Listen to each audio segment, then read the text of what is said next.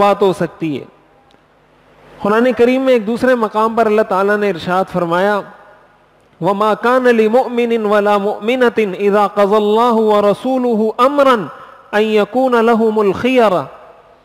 कि किसी मोमिन मर्द या औरत के लिए इस बात की इजाज़त नहीं है कि जब अल्लाह और उसका रसूल कोई फैसला कर दे, अब इस फैसले के बाद किसी मोमिन मर्द या औरत को कोई इख्तियार नहीं है कि वो उन, उस फैसले को छोड़कर अपना कोई इख्तियार इस्तेमाल करे, अपनी तरफ़ से कोई ऑप्शन इस्तेमाल करे, किसी मोमिन मर्द या किसी मोमिन औरत के लिए इस बात की शरीयत हरगिज इजाज़त नहीं देती।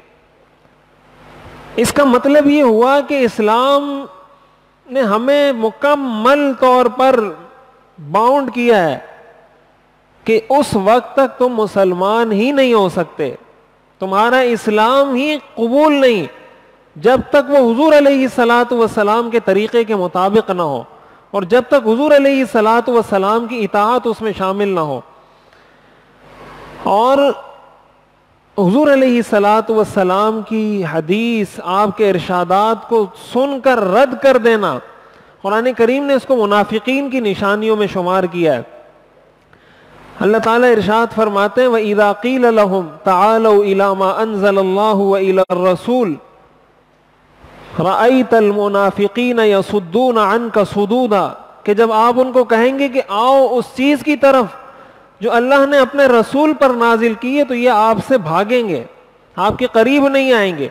ये मुनाफिकीन की निशानियाँ हैं कि जब उनको अल्लाह और उसके रसूल की तालीमात की तरफ़ बुलाएँ, बुलाया जाए तो वो उसको कबूल नहीं करते, बल्कि उससे भागते हैं, दूर भागते हैं। इसी तरह कुरान करीम में मोमिन की निशानी बयान करते हुए फरमाया गया इन नमा का व रसूल ही मोमिन की निशानी यह है कि जब उसको अल्लाह और उसके रसूल की तरफ़ बुलाया जाए, वो आगे से कहे समिअना व अताना. हमने सुना और हमने इतात की।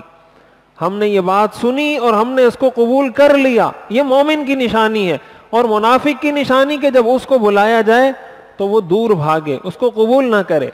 समय आना व असैना। उनका कहना यह होता है कि हमने सुन तो लिया, मानेंगे नहीं।